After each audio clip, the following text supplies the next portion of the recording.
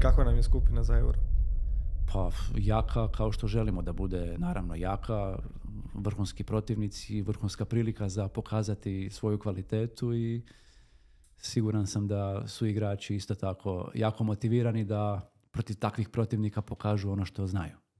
Ne znam, e, evo ja sam osobno razmišljao kad sam vidio grupu i čuo sam komentari, joj pa ne treba nam tako jaka skupina, bolje da smo dobili ovo, bolje da smo dobili ono. Ja rekao, ok, kao neko ko nije direktno vezan za bilo šta za reprezentaciju, nego sam jednostavno samo pasivan promatrač koji zapravo ni ne prati toliko, ali nebitno. Kažem, pa zar nije za ljepotu nogometa i za podizanje, ajmo reći, e, potencijalnog uspjeha reprezentacije puno bolje da igra protiv kvalitetnih protivnika, da bolje prođe s tim kvalitetnim protivnikom i da ima priliku igrati s takvim, nego da mlati tamo neke slabije reprezentacije. Mislim da je to imperativ za hrvatsku reprezentaciju koja je vice prvak svijeta. Mislim, o čem mi pričamo sad? Pa sigurno je, tako da, mislim...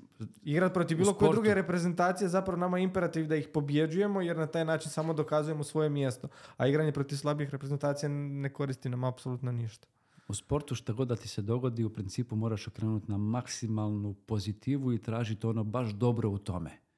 Pa i nakon poraza, imao sam situacije gdje sam tu učio od nekih vrhunskih starih trenera koji nakon poraza kaže, eto, odlično, ovo nam, je, ovo nam je baš dobro došlo. Zbog toga, toga i toga. Ovaj poraz nam je idealno došao. Tako da, kakvu god grupu da smo dobili u principu, jaču, slabiju, jel mogla biti još jača? Mogla je. Jel mogla biti slabija? Pa mogla je. Je to bitno? Apsolutno nije bitno.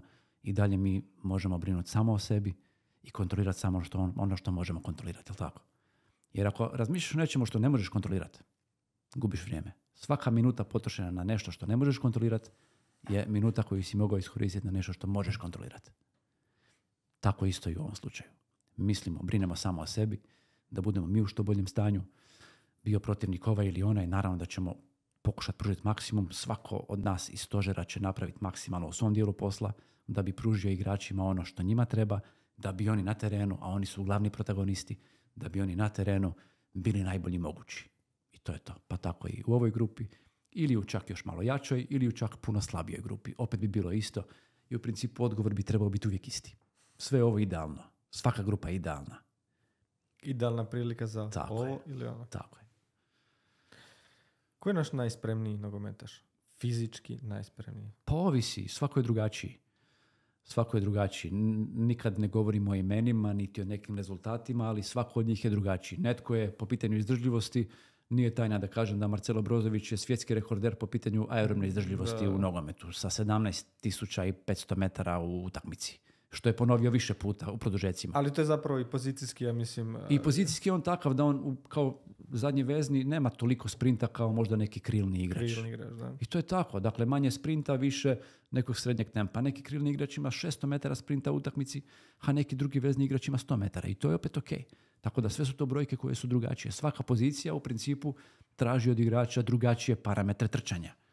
I to uopće ne mora biti 13 km po utakmici može biti 11 kvalitetnih. Na kraju krajeva, total distance ekipe nema nikakve veze sa pobjedom i porazom.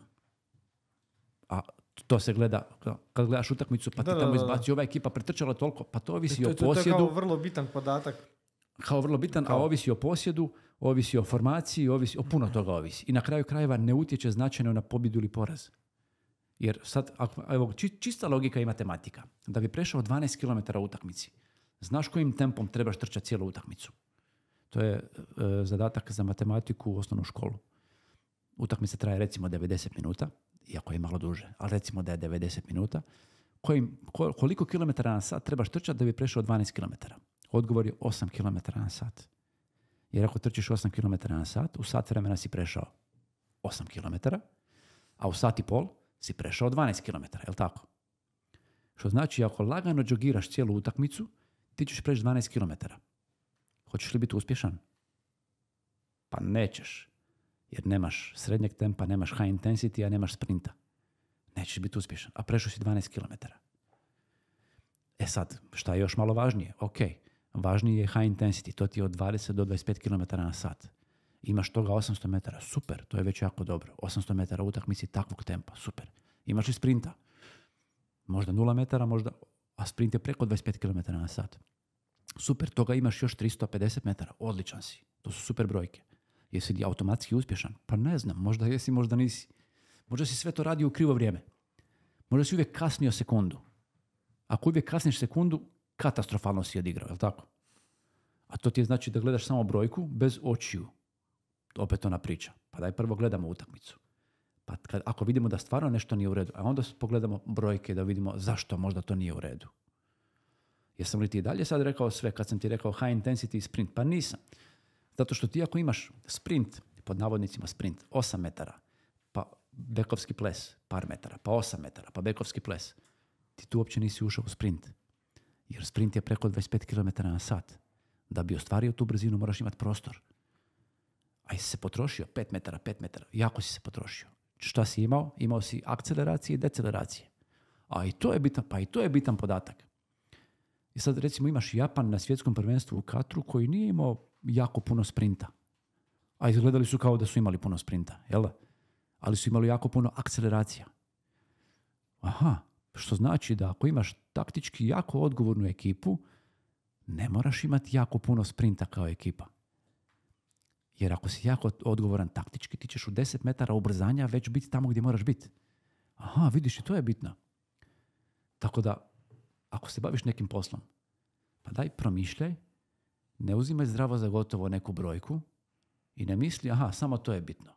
Nego se igra i proučavaj.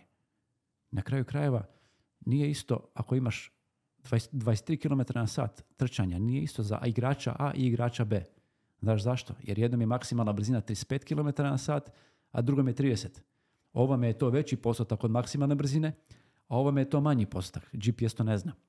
To ti moraš unijeti zone i postotke što je kome maksimalna brzina, pa onda tek imaš relativno izbačene podatke po pitanju brzine kretanja. Kako se prate ti svi podaci? Ti danas ako želiš možeš imati... Koja je tehnologija zapravo se krije iza svega toga? Ono? Pa, GPS i mikrotehnologija, akcelerometrija i sve ono što... Žiroskop, znači u jednom uređaju imaš više tehnologija na, na kraju krajeva. I onda ti imaš priliku nakon svakog treninga imati knjigu o tome.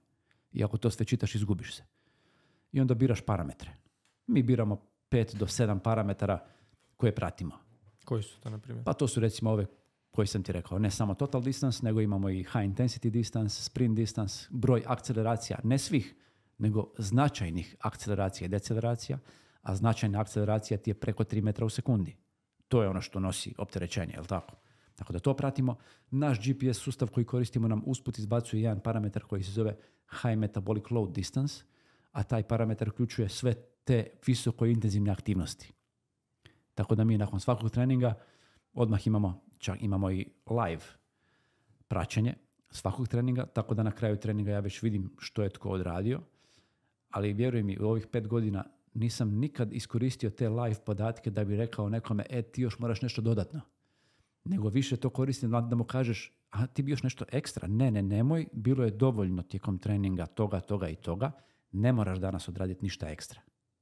Jer to su stvarno tako ozbiljni, tako motivirani likovi koji bi uvijek htjeli nešto dodatno odraditi. Tako da taj live praćenje više koristim za to da im kažem ok, dovoljno je, postigli smo cilj treninga, sasvim je dovoljno. Live podatke nikad ne koristim da bi trenerima rekao vidi možda je dosta, jer to je po meni krivo. Da kondicijski trener ima tako jaki utjecaj da je on taj koji će reći e sad, jer vjerojatno nije u pravu, jer to su samo brojke. Imaš neke analitičare koji gledaju trening preko brojki. Pa daj gledaj trening uživo, a koristi brojke samo da potkrijepiš to što vidiš. Govoreći opet o onome brojka, brojka, brojka ili oči, uši, brojka. Kod nas uvijek oči, uši, brojka.